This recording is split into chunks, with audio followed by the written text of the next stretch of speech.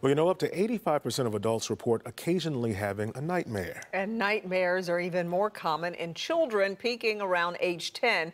But why do we have nightmares? And is there anything we can do to prevent them?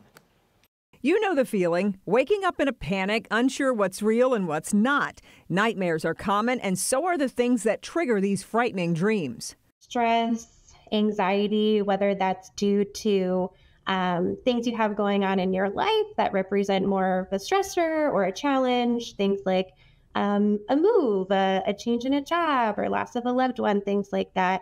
Um, all of these kind of unresolved problems that we experience during the day can definitely kind of cross over into our uh, nightmare activity. Dr. Elena Tiani is a sleep psychologist at the Cleveland Clinic. She says nightmares can also be influenced by watching a scary movie, seeing something upsetting on the news or social media, or having a difficult conversation before bed.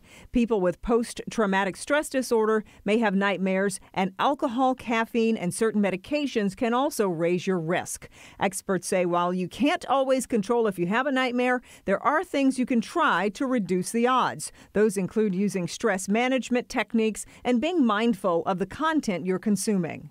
That's true for probably both adults and kiddos that media exposure, the things that we might read or the videos we might watch, um, just being mindful of the content because anything stressful or overwhelming um, could set us up to potentially, um, they may not cause nightmares, but may heighten the risk um, that those themes or feelings could be present in our dreams.